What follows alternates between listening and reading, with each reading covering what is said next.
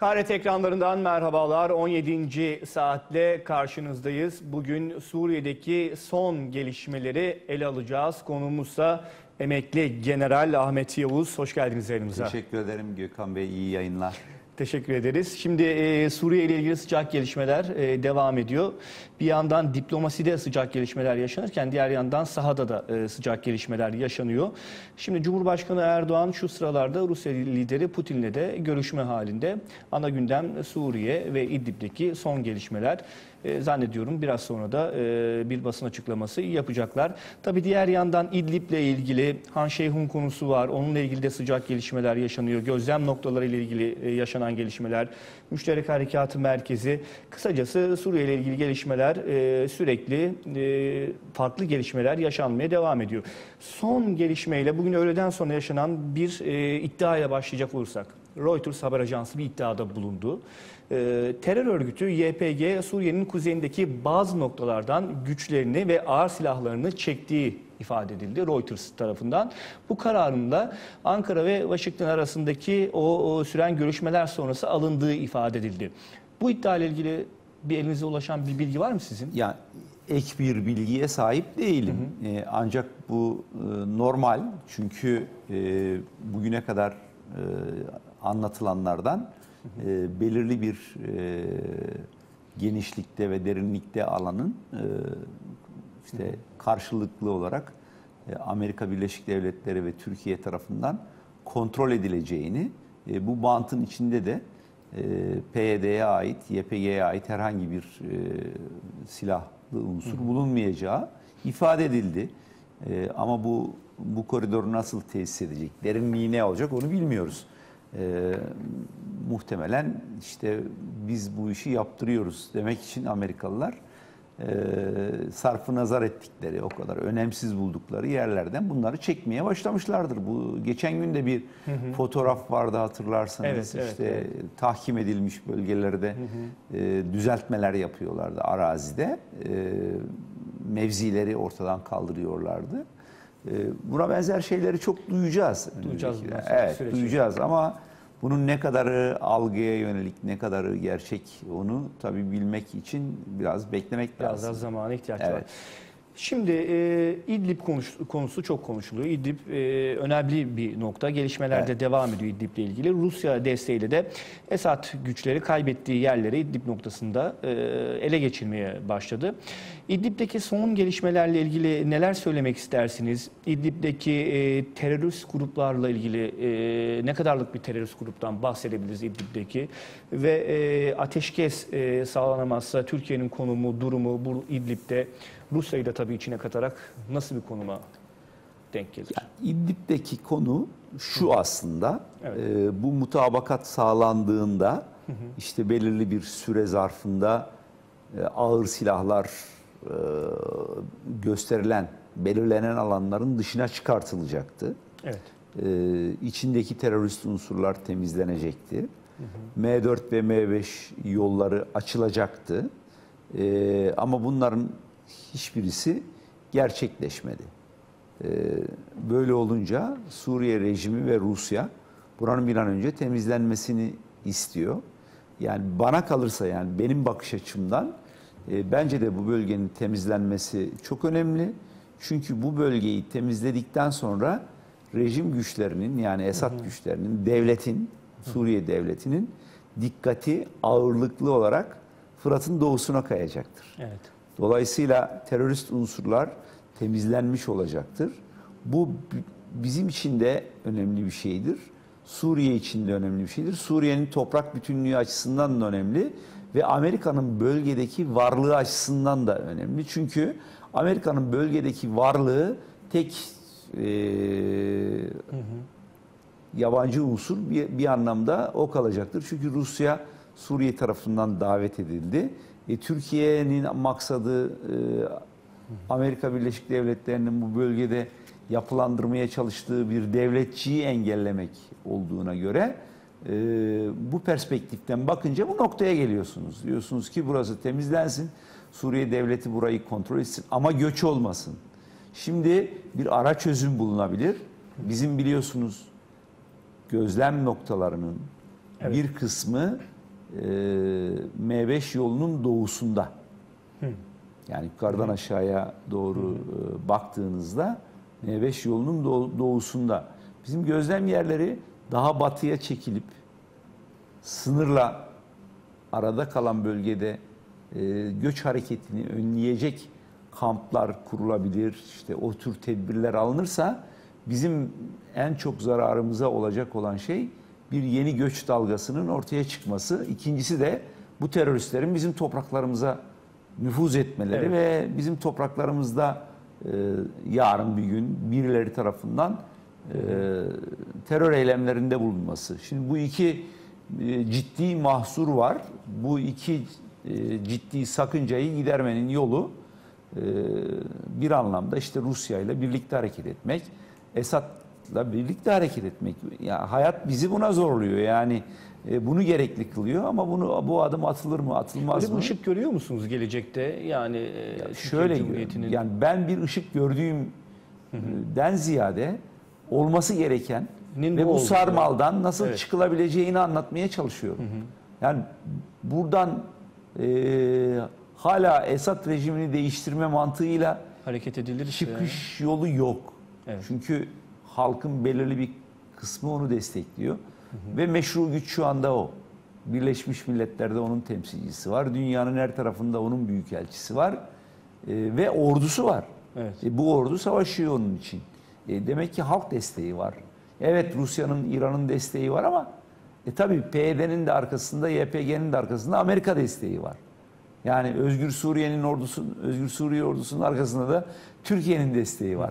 Bu destekleri çekin bakalım ne olacak yani. Dolayısıyla buradan hareketle esas maksadımızın e, Suriye'nin toprak bütünlüğü içerisinde soruna çözüm aramamız. Ha içeride egemenlik paylaşımı, e, yetki e, konuları bunlar tabii ki siyasi adımlardır ve anayasal adımlardır. Bu anayasal düzenlemeler nasıl yapılacak? Bizim burada da etkimiz olur. Yani böyle bir e, son durumu gerçekleştirebilirsek eğer hem bizi dinleyen gruplar üzerindeki etkimiz hem Türkiye'deki sığınmacılar üzerinde etkimiz hem de Esad'ın kendisi üzerinde etkimiz olur. Şimdi biz konuşalım diyorlar ki mazeret olarak işte Rusya'nın e, güdümündedir ve biz Rusya ile konuşuyoruz. Öyle bir hayat yok yani. Niye Rusya ile konuşuyoruz? Yani Esad tarihsel olarak bize Rusya'dan daha mı uzak? Bizim kendi işte 2011'e kadar Evet, beraber evet, ortak beraber bakanlar kurulu toplantısı yaptığınız insanlar.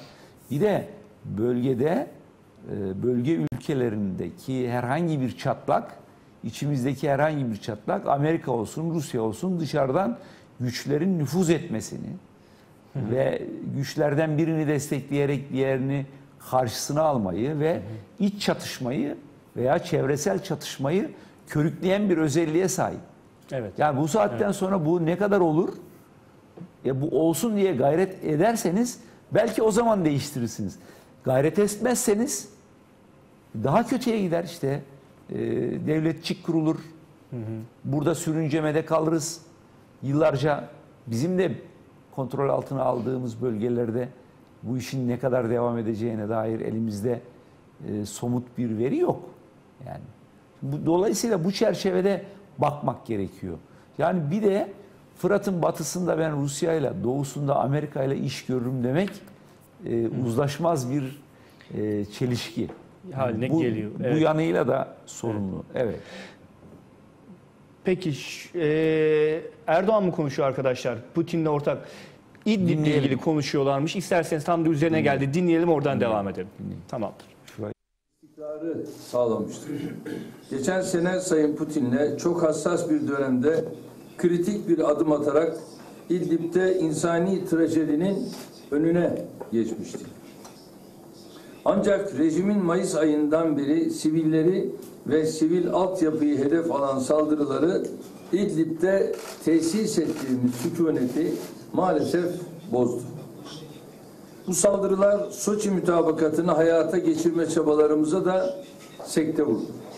İdlib'de rejim saldırıları sonucunda Mayıs ayından beri 500'ü aşkın masum insan hayatını kaybetti.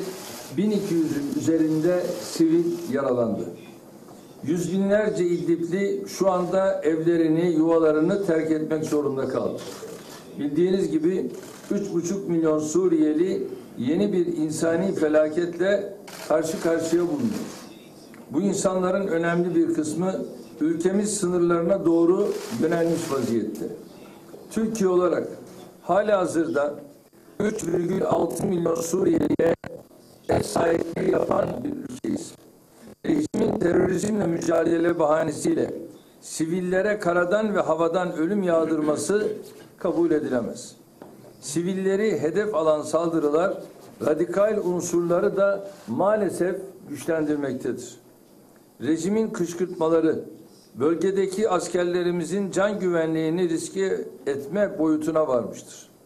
Buradan şunu da ifade etmek istiyorum. Meşru müdafaa hakkımız özellikle sınırlarımız boyunca bizi müdafaya sevk etmektedir. Ve tabii gereken adımları da gereken zamanda atmak durumundayız. Ülkemizin bu konudaki kararlılığını değerli dostum Putin'e de bizzat ifade ettim. İdlib'de sükunetin sağlanması için Astana ruhu çerçevesinde çalışmaya hazır olduğumuzu bir kez daha vurguladım. Soçi mütabakatıyla üzerimize düşen sorumlulukları ancak rejimin saldırılarına son verilmesiyle yerine getirebiliriz. Zaten bildiğiniz gibi Eylül ayının ortalarında Türkiye'de yapılacak üçlü zirveyle süreci devam ettireceğiz. Ve bu süreç barışa, bölgenin barışına önemli katkılarda bulunması lazım ki temennimiz Cenevre öncesi çok daha önemli adımları atmış olalım. Özellikle Fırat'ın doğusundaki durumu da istişare etme fırsatını buldum. Bu vesileyle Suriye'nin toprak bütünlerine, bütünlüğüne olan bağlılığımızı bir kez daha teyit ettik. Rusya'nın yanı sıra İran ve Birleşmiş Milletler'le yürüttüğümüz çabalar neticesinde Anayasa Komitesi'nin kuruluş çalışmalarında son aşamaya gelmiş bulunuyoruz. Son pürüzleri de gidererek komitenin ilanını en kısa sürede yapmak istiyoruz. İki ülke olarak birbirimizin güvenlik hassasiyetlerinin farkındayız. Bugüne kadar değerli dostumla Suriye'nin istikrarı yolunda önemli adımlar attık. İnşallah önümüzdeki dönemde de bu çabaları sürdüreceğiz. Gayemiz akan kanın durması, komşumuz Suriye'nin 8 yıldır özlemini çektiği huzur ortamına bir an önce kavuşmasıdır. Rusya Federasyonu ile tesis ettiğimiz yakın diyalog sadece Türkler ve Ruslar için değil, bölgemiz için de önemlidir. Bu görüşmemizde bu anlayışımızı bir kez daha teyit etme fırsatı bulduk.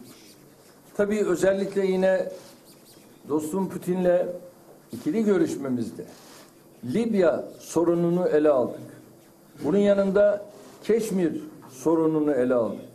Bunun yanında Orta Doğu'daki son gelişmeleri ele alma fırsatını bulduk.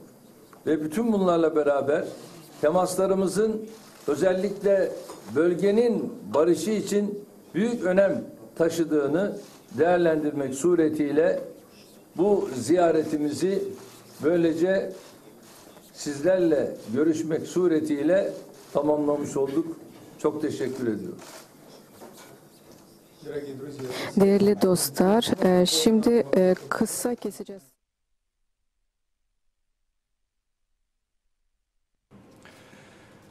Evet, Cumhurbaşkanı Erdoğan'ı dinledik. Ee, Suriye ve İdlib'le ilgili e, konuşmalarını.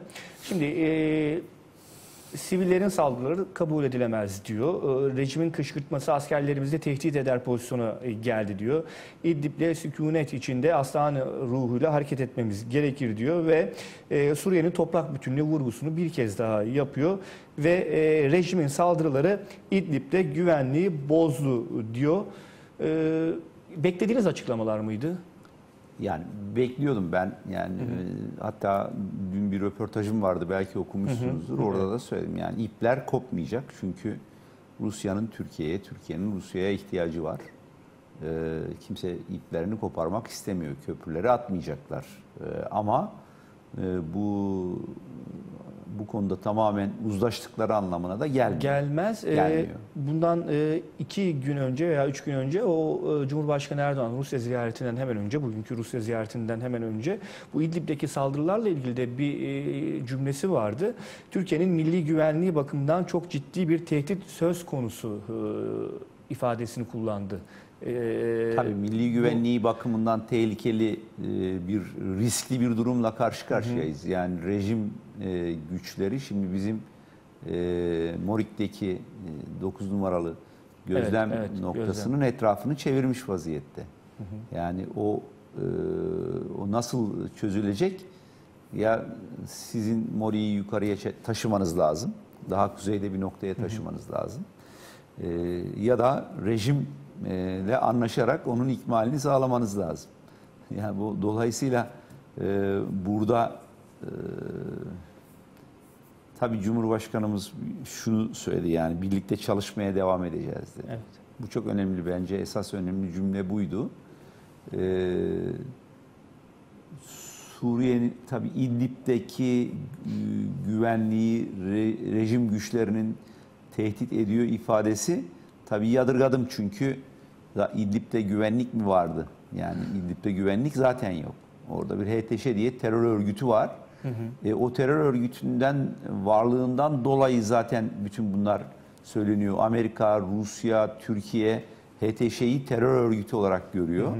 E, başka gruplar da var. Yani bu gruplar sayısı nedir, ne değildir? Biraz önce bana mevcudunu sordunuz. Yani e, araya girilmeden önce ya mevcudunu bilemiyoruz. Ne kadar silahlı güç var.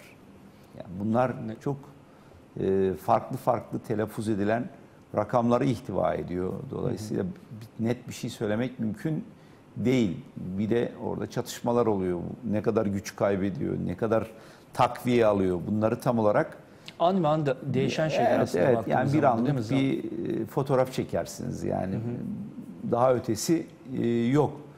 E, Tabii bunun bu görüşme sonrasında sahaya nasıl yansıyacak?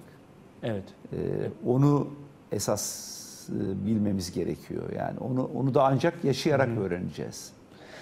Bu gözlem noktaları ile ilgili e, biraz daha konuyu açabilir miyiz? Gözlem noktalarında şimdi 9 e, nolu gözlem noktasının bir kuşatma altında olduğu haberlerini gördük. E, Gözlem noktaları ile ilgili risk durumu nedir? E, Gözlem noktalarının e, taşınması tartışmalarına e, Türkiye'nin de karşı çıktığını biliyoruz. E, Nedir risk durumu gözlem noktalarında? Gözlem noktalarıyla ilgili şöyle bir risk var. Türkiye ile Suriye'yi savaştırmak isteyen kimse yarın o gözlem noktalarından birisini e, bir zayiata neden olabilecek şekilde e, ateş altına alır, taciz eder. E, bu tepkiye yol açar.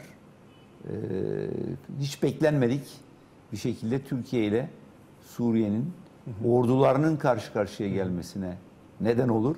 E, buna da işte e, teröristler sevinerek bakarlar. Yani bu bu tabii sadece oradaki teröristlerin kendi inisiyatifleriyle yapabileceği şey olmaya bilir. Yani Amerika'nın ne kadarını kontrol ettiğini, yani onların ajanlarının neler yaptığını bilmiyoruz. İngiltere'nin, Fransa'nın neler yaptığını bilmiyoruz. Şimdi bütün bunlar e, kendine göre bölgeyi şekillendirmek isteyen e, güçlerin başvurabileceği e, yöntemler. Böyle bir risk var. Bir risk var. Yani hatta bizim Özgür Suriye ordusundan kişiler bile bunu yapabilirler. Yani bu, bu çok e, tehlikeli bir e, ilişki ağını ortaya Çok çıkartır. karmaşık bir süreç değil Karmaşık, mi? daha da Çok karmaşık, kılar. Yani onun için mümkün olduğu kadar bu süreçleri yönetirken sadelik esaslarına göre hareket etmek lazım. Neyi taahhüt ediyorsanız da onun gereğini yapmanız lazım. Bu, bu çok önemli. Yani Suriye'nin toprak bütünlüğü dediğiniz zaman ne anlıyorsunuz siz? Suriye'nin içindeki egemen devletin egemenliğini sürdürmesi olarak ve sınırlarının içinde işgalci yabancı güç bulunmaması olarak anlıyorsunuz. Eğer o, o güçlerle e, oradaki rejimin bir çatışması yoksa tabii yani. Evet. Şimdi Amerika Birleşik Devletleri de tabii Suriye konusunda önemli bir nokta. Şimdi Birleşik Müşterek Harekat Merkezi ile ilgili bununla ilgili de tartışmalar devam ediyor. İşte Kürt nüfusunun yoğun olduğu yerlerde Türk güçlerinin olmadığı, güvenli bölge meselesinin e, ile ilgili e, derinlik konusu çok e, tartışılıyor. E, neler söylemek istersiniz? Özel, özellikle Amerika Birleşik Devletleri Suriye'nin kuzeyinde özellikle kuzeyinde e, nasıl bir yapı kurmanın peşinde? Güvenli bölge yine e, önemli bir konu. Şimdi Suriye'nin kuzey doğusunda Fırat Kal Nehri'nin kuzeyinde ve doğusunda Evet. Irak sınırına ve Türkiye'ye kadar, o Türkiye sınırına kadar olan bölgede Amerika Birleşik Devletleri bir devletçik kurmaya çalışıyor. 60 bin kadar bir PYD, YPG unsuru var, PYD var orada. Yani Suriye'nin PKK'sı bu. Evet. Yani açık söylemek Evet. gerekirse o. Evet. Şimdi bu kadar niye silahlandırırsınız? Kime karşı silahlandırıyorsunuz? Şu anda e, rejimle bir çatışması yok bu adamların. Evet. Bu bölge enerjinin yüzde seksenini kontrol ediyor. Yani hatta be, e, akaryakıt yani Evet, e, önemli. motorin benzin e, kaynağı olarak baktığınızda petrolün yüzde 95'i bu bölgeden çıkıyor. Şimdi bu bu kaynaklar olmadan Suriye bu nehrin batısındaki e, nüfus beslenemez. Yani yaşayamaz. Bu harp sebebi yani. Varlık yokluk noktasına geldiğinizde harp edersiniz zaten. Yapacak bir şey yok. Evet. Dolayısıyla Amerika Birleşik Devletleri'nin bu bölgede varlığı e, Suriye'nin toprak bütünlüğü için kesinlikle tehditten öte, tehdit değil artık yani, tehditten öte bir durumdur ve Türkiye için tehdittir. Türkiye için tehdittir. Yani Türkiye e, çok yanlış bir işe girişti bu Suriye işiyle. E, nasıl bu işin içerisinden çıkacak? En başından beri 2010 En, en başından itibaren felaket yanlış. Yani sürekli jeopoli- değişen bir politika. jeopolitik hata. Jeopolitik hata. Yani 2014'lerde, 2014'lerde, 15'lerde de yani belki işte o Süleyman Şah türbesini oradan boşaltmak yerine kuzeyden Fırat mihverinde hem doğusundan hem batısından kuzeyden güneye doğru bir harekat icra edilmiş olsaydı e, Süleyman Şah türbesi de kontrol altına alınırdı, takviye edilirdi. İşte bugün Menbiç problemi hiç yaşanmazdı. Evet. Menbiç problemi hiç yaşanmazdı. Ama bunlar da yapılmadı.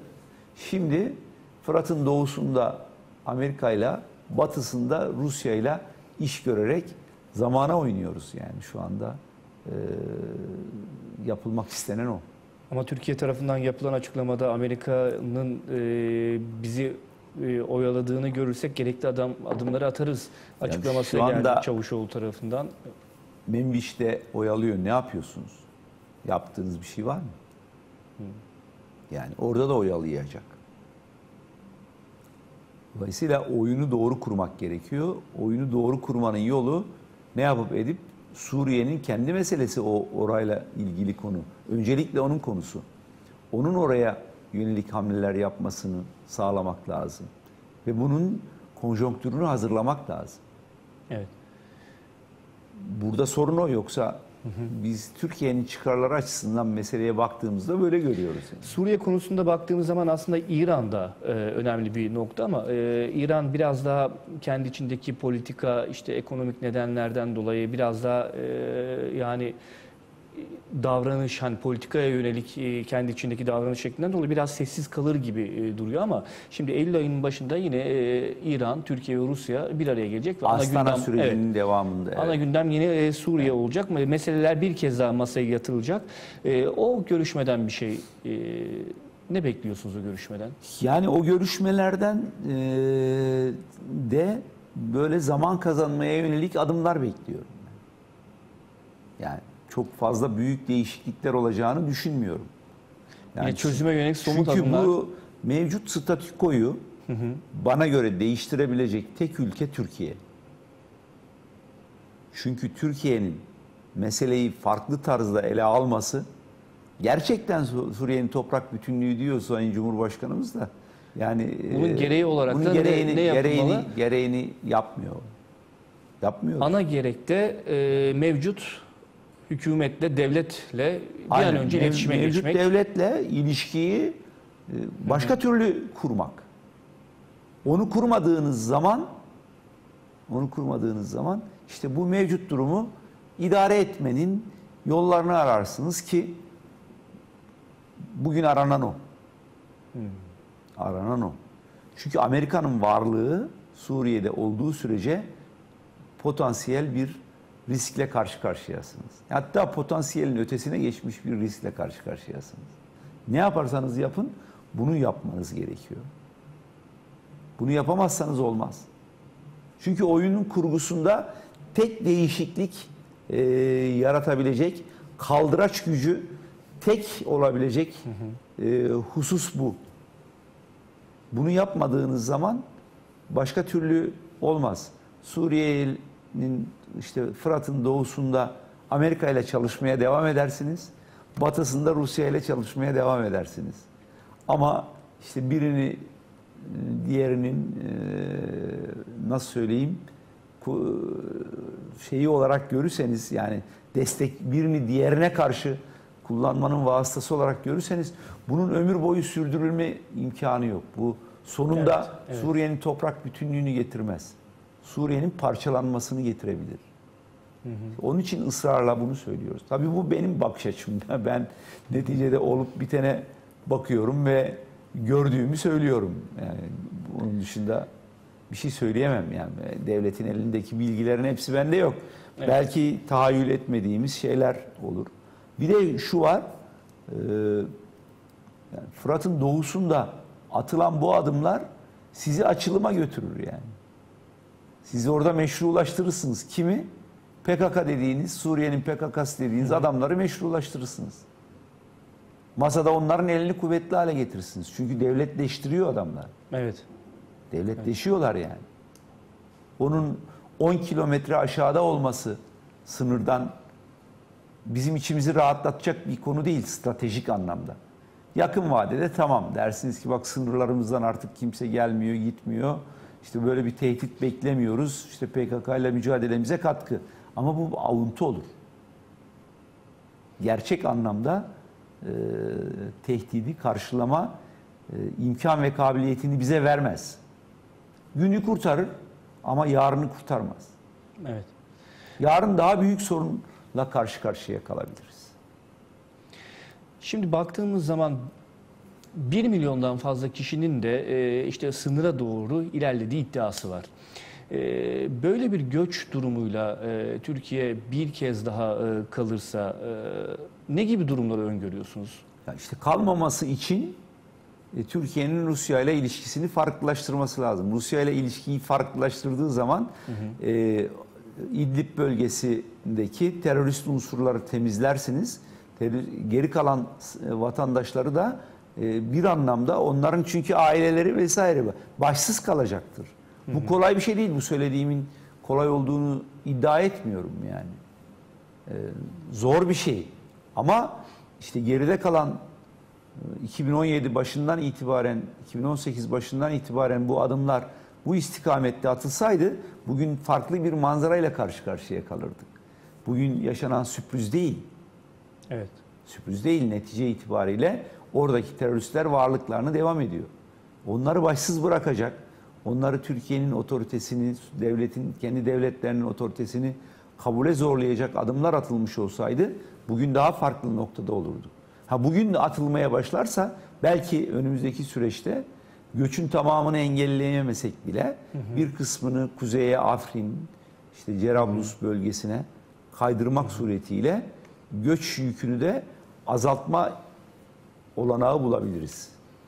Şimdi e, şunu da sormak istiyorum size. Şimdi e, 1 Ağustos'ta Yüksek Askeri Şura e, gerçekleşti. O, o şuradan sonra 5 general e, Türk Silahlı Kuvvetleri'nden istifa etti. Bu e, aralarında e, İdlib'den sorumlu tümenin komutan ve komutan yardımcısının da olduğu 5 general. E, Şimdi istifalarla ilgili işte görevlendirmelerin liyakata uygun yapılmadığı iddiası var. Milli Savunma Bakanı Hulusi Akar iki isim dilekçe verdi. Emeklilik doğal bir haktır ifadesini kullandı. Böyle kritik bir süreçte, böyle kritik bir görevde bulunan komutanların istifasını nasıl değerlendiriyorsunuz emekli bir general olarak? Şimdi bir defa o insanları dinlemek lazım. Hangi gerekçeyle istifa ettiler onu bilmek lazım. Demek ki bu insanların sıkıntıları var. Yani bir general durup dururken niye istifa etsin? Mesela bir, birisinin hikayesini e, öğrendim. E, Tu Şey, General çor- çorbacı mıydı? Hayır, çorbacı evet o özel kuvvetler komutanı iken Adana'daki tümen komutanlığına atanması tabii kendisi açısından bir e, yani itibar kaybı olarak görmüş olabilir. Yani Her ne kadar ikisi de tüm general seviyesinde e, komutanlıklar ise de tabii özel kuvvetler daha farklı bir e, durumda, konumda E, ve bütün Türkiye işte yani Türkiye neredeyse silahlı kuvvetleri neredeyse oraya uzanan bir komutanken sınırlı bir şekilde belki İdlib'den, Cerablus'tan falan sorumlu olacak. Yani e, bunu kendisine yedirememiş olabilir ve subaylar e, kendisine uygun olmayan hareket tarzlarıyla karşı karşıya kaldıklarında e, istifa etme hakkına, emekli olma hakkına sahiptir ben. Hiç yadırgamam yani. E, Bakan Bey'in e, bu istifayı biraz hafife alması, işte iki tane dilekçe geldi demesi bence yakışık alan bir tutum değil. Bence e, istifalar kendisinin de yönetim tarzına yönelik de olabilir. Bilmiyoruz tabii şu anda ne olduğunu. Ama e, insanlar e, silahlı kuvvetlerde onurlarıyla yaşar. Yani subayın diğer adı onurdur. Onurunu incitmeyeceksiniz insanlar. Yani bu ifade bile işte geri kalanlarla yürütülür ifadesi bile çok e, saygı duyduğum bir ifade değil. Yani açıkçası söyleyeyim. Ben bugün bir ifade yazdım. Onu size okuyayım. Tabii. Ee, şimdi subayın diğer adı onurdur. Onun dayanağı vatanseverliği, mesleki yetkinliği ve yarattığı güven duygusudur. Yönetenler ya bu konuyu bilecek ya da öğrenecek. Konu ciddidir. Hafife alıcı tavırlardan uzak durun efendiler dedim. Son yıllarda özellikle bu onur konusunda e, askerlerimizle ilgili bir farklı durumun veya daha e, kırıcı durumun olduğunu düşünüyor musunuz? Düşünüyorum tabii yani 10 yıllardır Türk Silahlı Kuvvetleri ile oynanıyor. Balyoz, Ergenekon, casusluk vesaire. Sonra götürdüler FETÖ'ye teslim ettiler hemen hemen orduyu. O, o e, haince o o darbeyi de e, darbe girişimi çok şükür bastırıldı ama iktidar e, bir bir anlamda fırsata çevirdi. Ne, neyin fırsatına çevirdi? Orduya istediği şekli ve orduyu siyasallaştırdı bugün. Yani ben bir anlamda e, Genelkurmay Başkanı'nın Milli Savunma Bakanı olmasını bir anlamda olumlamıştım. Ordunun içinden gelen, siyasete belki orduyu daha iyi anlatabilecek. Ama bakıyorum onun da uygulamaları sanki hiç ordunun içinden gelmemiş gibi davranıyor yani. Ya bu orduyla ayakta durdu yüzyıllardan beri bu ülke ve bu coğrafyanın kaderi kuvvetli bir orduya sahip olmaktır. Siyasileşmiş bir ordu bu ülkede zarar vermiştir. Bakın öz eleştiri de yapmalıyız. Evet. Balkan Harbi'ni kaybettiysek siyasallaşma yüzünden olmuştur. Ordu devletin ordusu olur, milletin ordusu olur. Ordu bir partinin ordusu falan olmaz. Bunlar yanlış şeylerdir. Bunlar hoşunuza gidebilir. Hoşunuza gidebilir. Komutanlar gelip size şirin görünebilir. Yani AK Parti'nin yöneticisi olursunuz, milletvekili olursunuz. Onların tayini, terfisi konusunda e, eliniz uzanabilir. Beğenmediğinizi terfi ettirmezsiniz bilmem. Bunlar sizi çok mutlu edebilir. Ama bu millete kötülüktür. Bu devlete kötülüktür.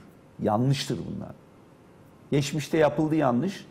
Darbeler sürecinde de yapıldı tabii. Kimsenin darbe yapmaya hakkı yok.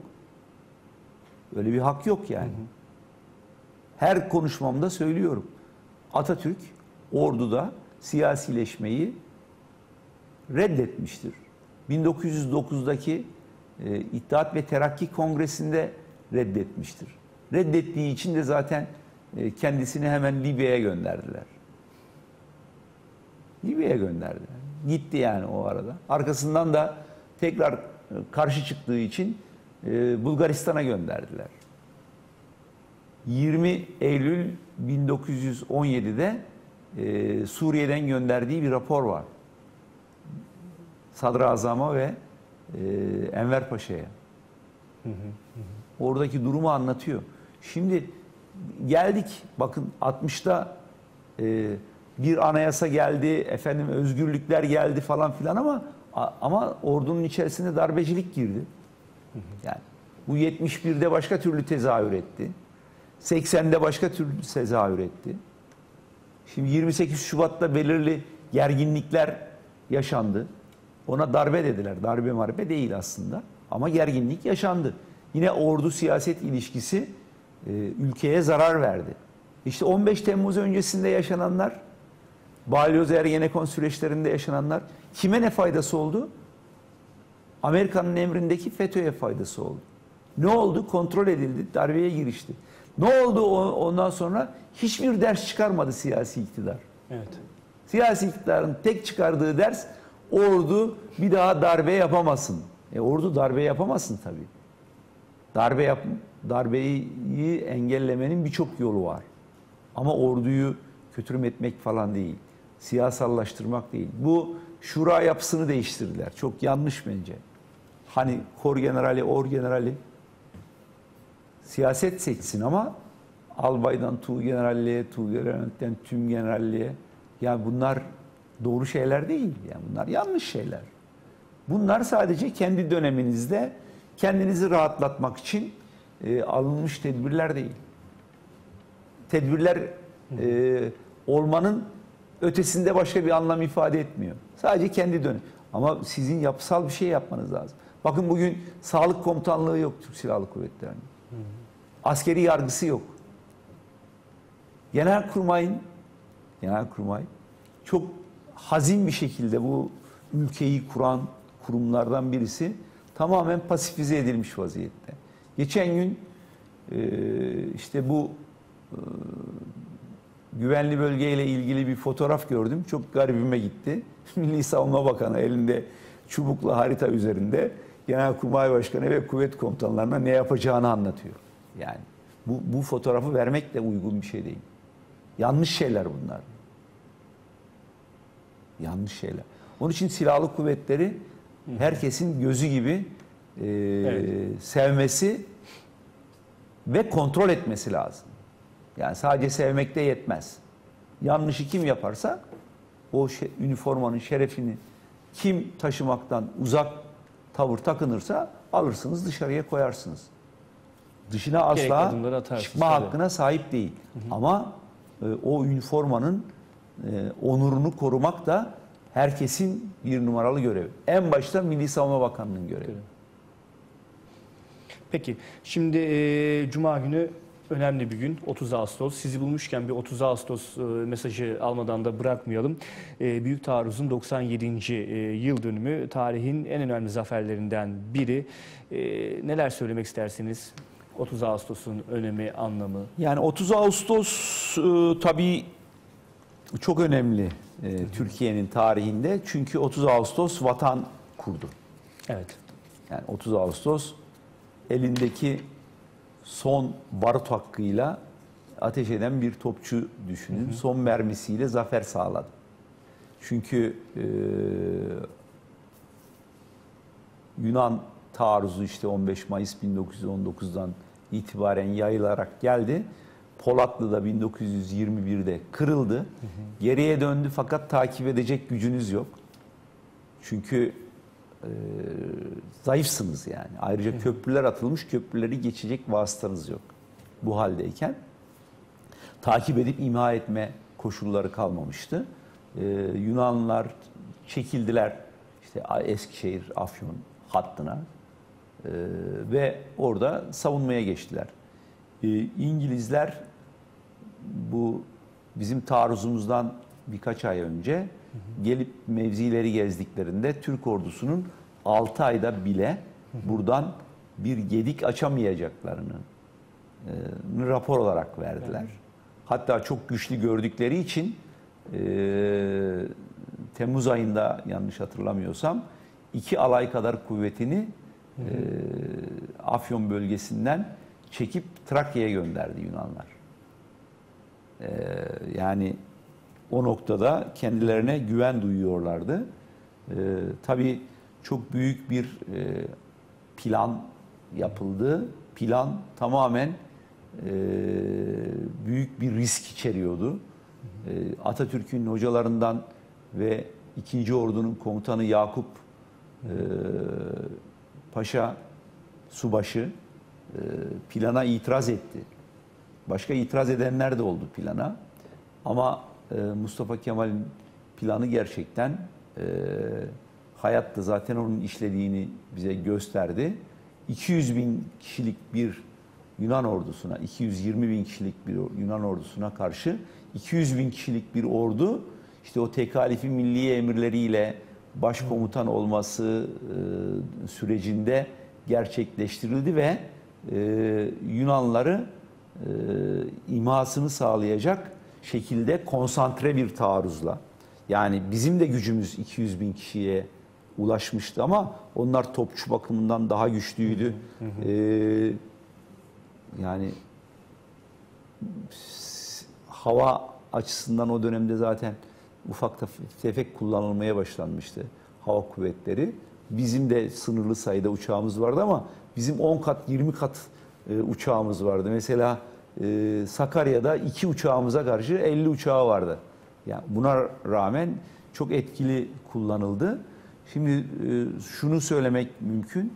Ve son E, iki dakika. Akıllı bir komuta heyeti, ona inanmış askerler, disiplin içerisinde çok başarılı bir planı sıklet merkeziyle düşmanın en kuvvetli yanına da vurmak suretiyle ama gedik açacak şekilde kuvvet toplayarak vurmak suretiyle işte süvari kol ordusunu da çok akıllı bir şekilde düşmanın gerisini kuşatacak şekilde e, hem yarma hem kuşatma harekatını birlikte yapacak şekilde çok başarılı bir taarruzla işte Mustafa Kemal'in söylediği gibi işte 15 günde e, öngörmüştüm. Bir günde yanıldım çünkü 14 günde gittik İzmir'e diye ifade ettiği bir durum. Bir şey daha söyleyelim, bitirelim herhalde vaktimizin sonuna geldik Evet. mi? Bir iki dakikamız Şimdi var. Lozan'da İnönü'ye soruyorlar. Evet. Diyorlar ki siz bu orduyu nasıl kurdunuz? Biz bu orduyu diyor halkın malının, mülkünün, işte hayvanının, e, diğer gıda maddelerinin yüzde kırkına el koyarak koyduk. Nasıl el koydunuz diyor. El koyduk diyor, başka çaremiz yoktu diyor. Sonradan ödenmek koşuluyla bunlara el koyuldu ve bu vatan öyle kurtuldu. Ee, o, o subaylar öyle mücadele ettiler. Ee, onlara minnet borçluyuz. Hepsini e, şehitlerimizi saygıyla, minnetle analım. Önlerinde Evet e, saygıyla eğilelim. Evet, tazimle eğilelim ve gazilerimiz tabii onlar da hayatlarını kaybetti. Artık kimse kalmadı o savaştan. Onların torunlarına da şunu söyleyelim. Ee, ülkemize sahip çıkmak zorundayız. Evet. Gerçekten çok da güzel, e, önemli bir konuyla da e, bitirmiş olduk. Evet. Teşekkür ederiz. Ben E, teşekkür Sağ ederim. olun, önemli, değerli e, bilgilerinizden dolayı, değerlendirmelerinizden dolayı çok sağ olun geldiğiniz için. Sağ olun. Evet 17. saatin bugünkü konu emekli General Ahmet Yavuz'du. Suriye'deki İdlib'deki son gelişmelere değindik. Diğer bölümde ise Cuma günü 30 Ağustos'un yıl dönümü, Büyük Taarruz'un 97. yıl dönümü kısa bir tarihçesinde Sayın Yavuz'dan dinledik. Tekrar görüşeceğiz. Şimdilik hoşçakalın.